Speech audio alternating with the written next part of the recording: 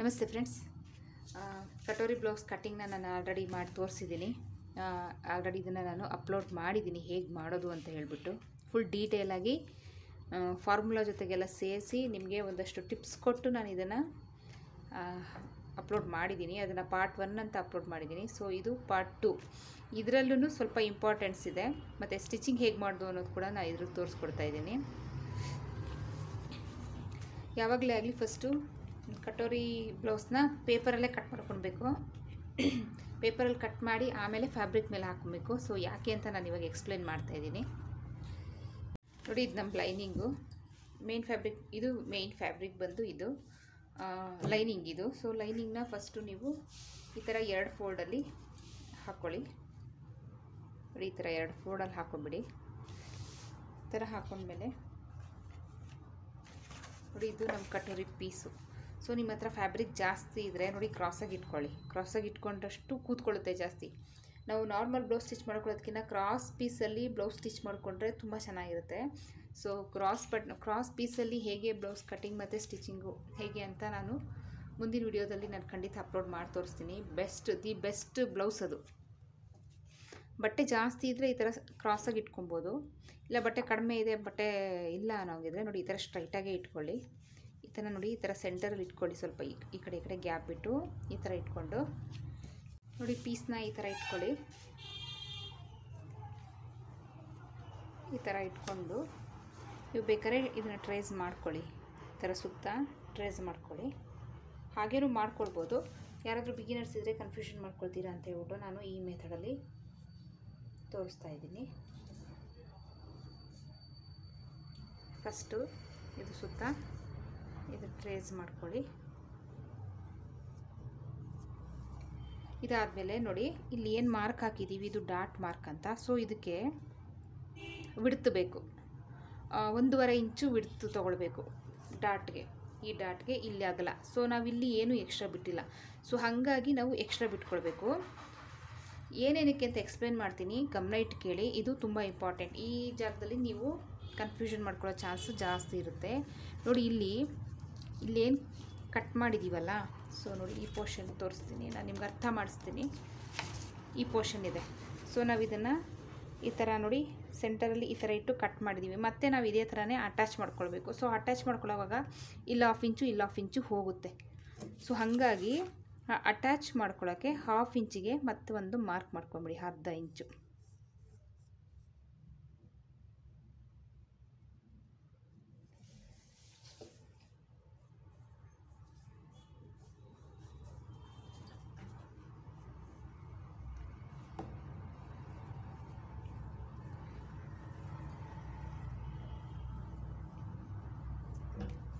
ಥರ ಅರ್ಧ ಇಂಚಿಗೆ ಮಾರ್ಕ್ ಮಾಡ್ಕೊಳ್ಳಿ.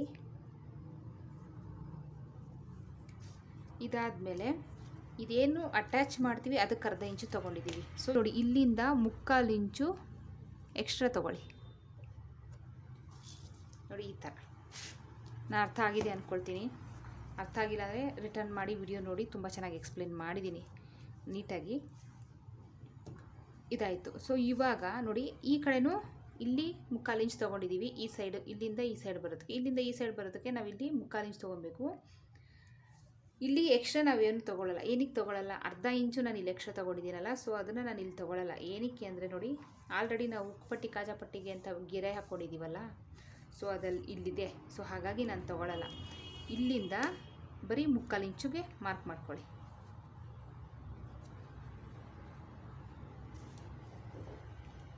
ಸೊ ನೋಡಿ ಇಲ್ಲಿ ಮುಕ್ಕ, ಮುಕ್ಕಾಲು ಇಂಚು ಮಾತ್ರ, ಈ ಡಾಟಿಗೆ ಏನು ಬೇಕೋ ಅದು ಮಾತ್ರ. ಏನಕ್ಕಂದರೆ ಇಲ್ಲಿ ನಾನು ಆಲ್ರೆಡಿ ತೊಗೊಂಡಿದ್ದೀನಿ, ಹಾಗಾಗಿ. ತಗೊಂಡು ನೋಡಿ, ಇಲ್ಲಿಂದ ಇದನ್ನು ಈ ಥರ ಮಾರ್ಕ್ ಮಾಡ್ಕೊಳ್ಳಿ.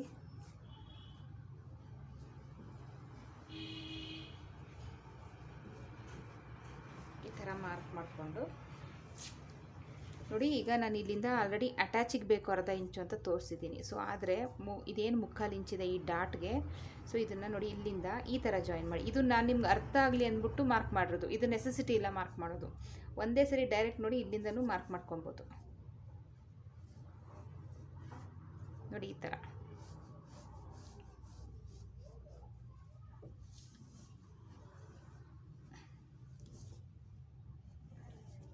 ಥರ ನೋಡಿ, ಇಲ್ಲೆಲ್ಲ ಅಟ್ಯಾಚ್ ಬರುತ್ತೆ. ಸೊ ಅರ್ಧ ಇಂಚ್ ನಾನು ಎಕ್ಸ್ಟ್ರಾ ತೊಗೊಂಡಿದ್ದೀನಿ ಒಂದು ಕಾಲು ಇಂಚು ಈ ಕಡೆ ನೋಡಿ, ಅರ್ಧ ಇಂಚ್ ಆಲ್ರೆಡಿ ತೊಗೊಂಡಿರೋದ್ರಿಂದ ನಾನು ಇಲ್ಲಿ ಮುಕ್ಕಾಲು ಇಂಚ್ ಎಕ್ಸ್ಟ್ರಾ ತೊಗೊಂಡಿದ್ದೀನಿ ಸೊ ಇದನ್ನು ಸೇರಿಸ್ಕೊಂಡ್ರೆ ಒಂದು ಕಾಲು ಇಂಚ್ ಆಗುತ್ತೆ.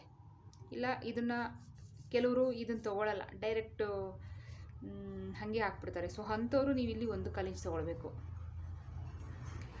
ಇನ್ನೊಂದು ಸರಿ ಮತ್ತೆ ಮತ್ತೆ ವಿಡಿಯೋ ನೋಡಿ. ಹಂಡ್ರೆಡ್ ಪರ್ಸೆಂಟ್ ತಲೆಗೆ ಹೋಗೋವರೆಗೂ ಅಷ್ಟೇ. ತಲೆಗೆ ಹೋಗ್ಬಿಟ್ರೆ ಇದು ತುಂಬ ಈಸಿ ಸೊ, ಈಗ ಇಷ್ಟಾದಮೇಲೆ ಇಲ್ಲಿಂದ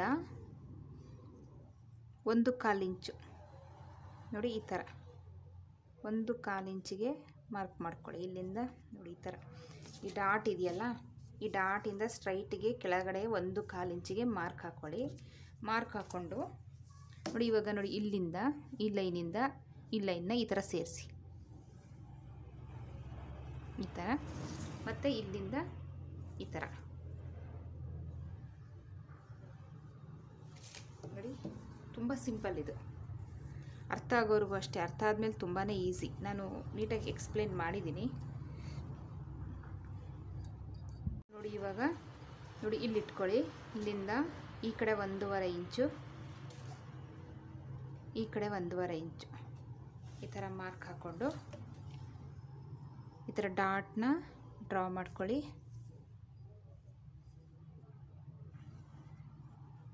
ನೋಡಿ ಇದೆ ನಮ್ಮ ಕಟೋರಿ. ನಾವು ಮೇನ್ ಫ್ಯಾಬ್ರಿಕ್ ಅಂದರೆ ಪೇಪರಲ್ಲಿ ಕಟ್ ಮಾಡಿಕೊಂಡು ಟ್ರೇಸ್ ಮಾಡ್ಕೊಳ್ಳಿ. ಇದು ನಾನು ಟ್ರೇಸ್ ಮಾಡಿರೋದು ಜಸ್ಟ್ ನಿಮಗೆ ಗೊತ್ತಾಗಲಿ ಅಂತ. ಇದನ್ನು ನೀವು ಲೆಕ್ಕಕ್ಕೆ ತೊಗೊಳ್ಬಾರ್ದು. ಇವಾಗ ಏನಿದ್ರು ಇದು ಮಾತ್ರ ಇರೋದು. ಸೊ ನಾನು ಕಟ್ ಮಾಡಿ ತೋರಿಸ್ತೀನಿ. ಒಳಗಿರೋ ಲೈನ್ ಕಟ್ ಮಾಡಬಾರ್ದು. ಇದು ಒರ್ಜಿನಲ್ದು ಇದೇನಿದೆ, ನಾನು ಮಾರ್ಕ್ ಮಾಡಿದ್ದೀನಿ. ಆ ಮೆಷರ್ಮೆಂಟಿಗೆ ಅದಿರೋದು. ಇದು ಏನು ಎಕ್ಸ್ಟ್ರಾ ಬಂದಿದೆ ಸೊ ಅದನ್ನು ನಾವು ಕಟ್ ಮಾಡ್ಕೊಬೇಕು. ನೋಡಿ ಈ ಥರ ಮಾಡಿ.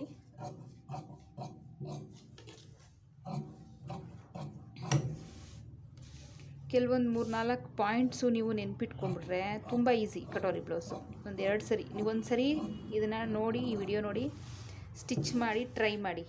ಸೊ ಅದು ಆಟೋಮೆಟಿಕ್ಕಾಗಿ ನಿಮ್ಮ ತಲೆಗೆ ಹೋಗ್ಬಿಡುತ್ತೆ. ಆಮೇಲಿಂದ ಈಸಿ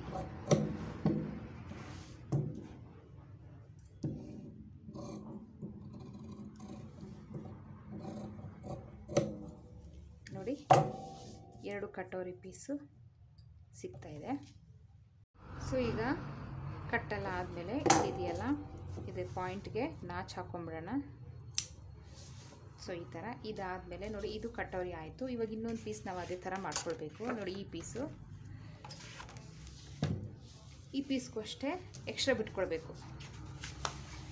ಇದನ್ನು ಅಷ್ಟೇ ಲೈನಿಂಗ್ ಫ್ಯಾಬ್ರಿಕ್ ಮೇಲೆ ಈ ಪೇಪರ್ನ ಇಟ್ಬಿಟ್ಟು, ನೋಡಿ ಅಟ್ಯಾಚ್ ಈ ಪೋರ್ಷನಲ್ಲಿ ಮಾತ್ರ ಬರೋದು.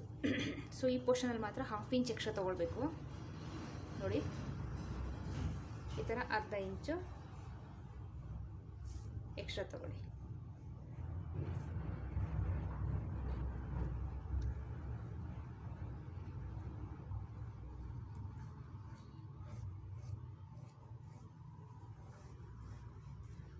ಈ ಥರ ತಗೊಂಡು ಕಟ್ ಮಾಡ್ಕೊಳ್ಳೋಣ ಇವಾಗ.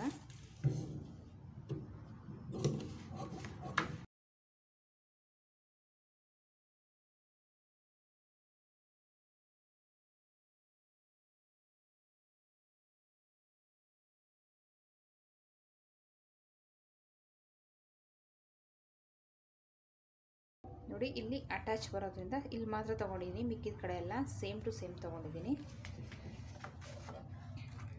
ಇದನ್ನು ನಾವಿವಾಗ ಮೇನ್ ಫ್ಯಾಬ್ರಿಕ್ ಮೇಲೆ ಹಾಕಿ ಕಟ್ಟಿಂಗ್ ಮಾಡ್ಕೊಳ್ಳೋಣ.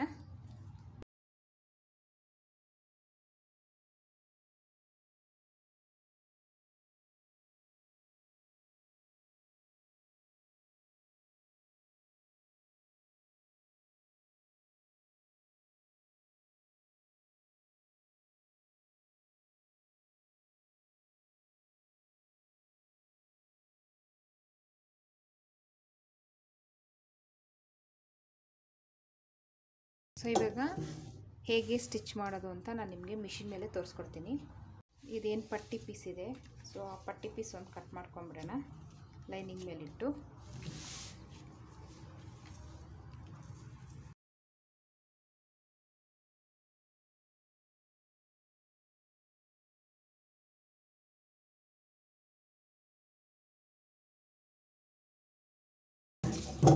ಸೊ ಈ ಥರ ಎಕ್ಸ್ಟ್ರಾ ಏನು ತೊಗೊಳಂಗಿಲ್ಲ ಇದಕ್ಕೆ. ಎಷ್ಟಿದೆ ಅಷ್ಟು ಕಟ್ ಮಾಡಿಕೊಂಡ್ರೆ ಸಾಕು. ಪೇಪರ್ ಇಟ್ಟು ಕಟ್ ಮಾಡುವಾಗ ಸ್ವಲ್ಪ ಏರುಪೇರು ಆಯಿತು ಅಷ್ಟೇ. ಸೊ ಎಕ್ಸ್ಟ್ರಾ ಬಂದಿರೋದನ್ನ ಕಟ್ ಮಾಡಿ ತೆಗಿತಾ ಇದ್ದೀನಿ ನಾನು. ನೋಡಿ. ಇವಾಗ ಕರೆಕ್ಟಾಗಿ ಬರುತ್ತೆ. ಸೊ ಇವಾಗ ನಾನು ಇದನ್ನು ಮಿಷಿನ್ ಮೇಲೆ ಹೇಗೆ ಸ್ಟಿಚ್ ಮಾಡೋದು ಅಂತ ತೋರಿಸ್ಕೊಡ್ತೀನಿ. ನೋಡಿ, ಎಲ್ಲ ನಾನು ಮೇನ್ ಫ್ಯಾಬ್ರಿಕ್ ಮೇಲೆ ಇಟ್ಟು ಕಟ್ ಮಾಡ್ಕೊಂಡಿದ್ದೀನಿ. ಸೊ ಇದನ್ನು ಇವಾಗ ನಾವು ಅಟ್ಯಾಚ್ ಮಾಡ್ಕೊಳ್ಳೋಣ.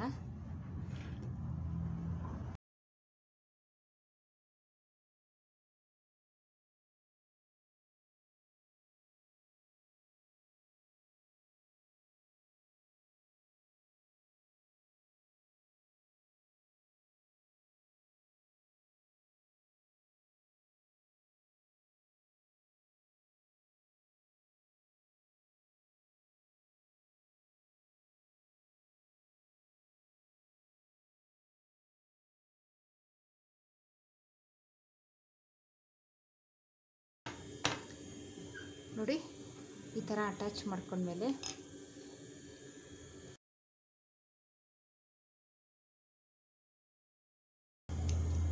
ಸೊ ನೋಡಿ ಡಾಟ್ ಹಿಡಿದ್ಮೇಲೆ, ನೋಡಿ, ಇದನ್ನು ಈ ಥರ ಹಾಕಿ ನೋಡಿ.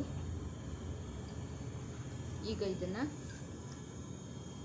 ಅಟ್ಯಾಚ್ ಮಾಡ್ಕೊಳ್ಳೋಣ.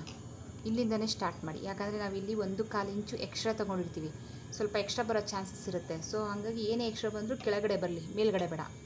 ಸೊ ಇಲ್ಲಿಂದ ಎಲ್ಲೂ ಎಳಿಬೇಡಿ ಪೀಸ್ನ ನೀಟಾಗಿ ಸ್ಟಿಚ್ ಮಾಡ್ಕೊಳ್ಳಿ.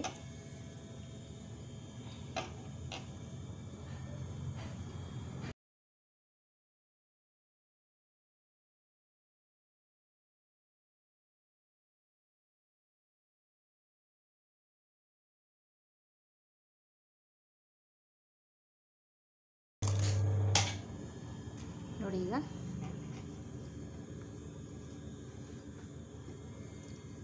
ಕಟೋರಿ ಬ್ಲೌಸು, ಕಟೋರಿ ಬಂತು.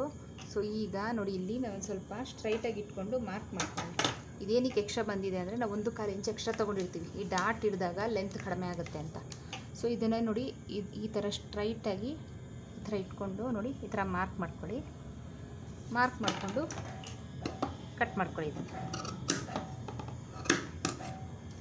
ಈ ಥರ ಕಟ್ ಮಾಡ್ಕೊಂಡ್ಮೇಲೆ ಪಟ್ಟಿ ಪೀಸ ಫ್ರಂಟ್ ಪಟ್ಟಿ ಪೀಸ್ ಅಟ್ಯಾಚ್ ಮಾಡ್ಕೊಳ್ಳೋಣ.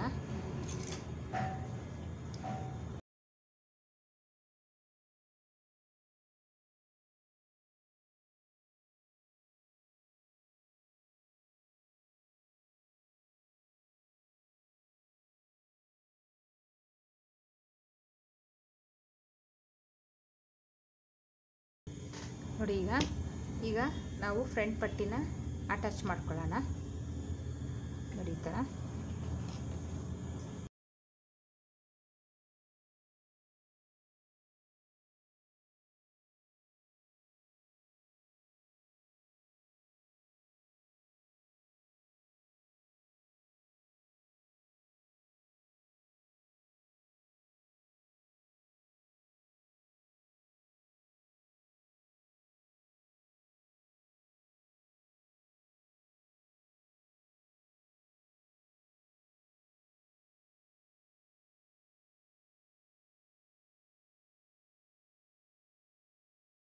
ಸೊ ನೋಡಿ, ಕಟೋರಿ ಬ್ಲೌಸು ರೆಡಿಯಾಗಿದೆ.